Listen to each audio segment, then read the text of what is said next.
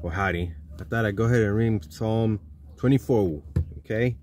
The earth is the Lord's, and the fullness thereof, the world, and they that dwell therein. For he hath founded it upon the seas, and established it upon the floods. Who shall ascend into the hill of the Lord, or who shall stand in his holy place? He that hath clean hands, and a pure heart, who hath not lifted up his soul unto vanity, nor sworn deceitfully, he shall receive the blessing from the Lord, and righteousness from the God of his salvation. This is the generation of them that seek him, that seek thy face, O Jacob, Selah. Lift up your heads, O ye gates, and be ye lift up, ye everlasting doors, and the kings of glory shall come in. Who is the King of glory? The Lord strong and mighty, the Lord mighty in battle. Lift up your heads, O ye gates, even lift them up, ye everlasting doors, and the King of glory shall come in. Who is the King of glory? The Lord of hosts. He is the King of glory. Selah. I'll go ahead and read Psalm 25 too. Okay, so unto thee, O Lord, do I lift up my soul. O my God, I trust in thee. Let me not be ashamed. Let not mine enemies triumph over me. Yea, let not that wait on me on thee be ashamed. Let them be ashamed which transgress without cause. Show me thy ways, O Lord. Teach me thy paths. Lead me in thy truth, and teach me, for thou art the God of my salvation. On thee do I wait all the day. Remember, O Lord, thy tender mercies and thy loving kindness, for thee have been ever of old.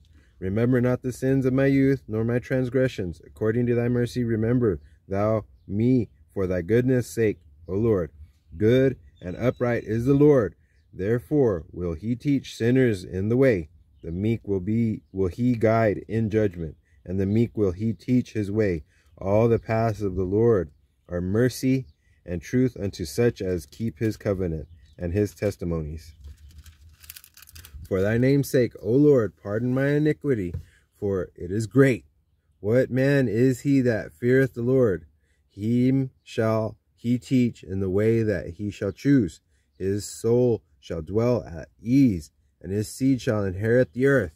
The secret of the Lord is with them that fear him, and he will show them his covenant. Mine eyes are ever toward the Lord, for he shall pluck my feet out of the net. Turn thee unto me, and have mercy upon me, for I am desolate and afflicted. The troubles of my heart are enlarged. O bring thou me out of my distress. Look upon my affliction and my pain, and forgive all my sins. Consider mine enemies, for they are many, and they hate me with cruel hatred. O keep my soul, and deliver me. Let me not be ashamed for I put my trust in thee. Let integrity and uprightness preserve me, for I wait on thee. Redeem Israel, O God, out of his troubles. I'll go ahead and read Psalm 26. Judge me, O Lord, for I have walked in mine integrity. I have trusted also in the Lord, therefore I shall not slide. Examine me, O Lord, and prove me. Try my reins and my heart, for thy loving kindness is before mine eyes, and I have walked in thy truth. I have not sat with vain persons, neither will I go in with dissemblers. I have hated the congregation of evildoers, and will not sit with the wicked. I will wash mine hands in innocency. So will I compass thine altar, O Lord, that I may publish with the voice of thanksgiving and tell of all thy wondrous works. Lord, I have loved the habitation of thy house, and the place where thine honor dwelleth. Gather not my soul with sinners, nor my life with bloody men, in whose hands is mischief, and their right hand is full of bribes.